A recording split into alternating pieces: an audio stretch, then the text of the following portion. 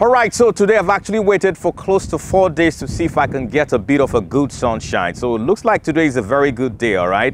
So we're going to capture the output of these two solar panels right before you. So we're trying to find out which should give you a better output. Is it going to be the Longi solar panel or is it going to be the Jinko solar panel? So right here is the Jinko solar panel. It's a 440 watt solar panel. And right here is the Longi solar panel.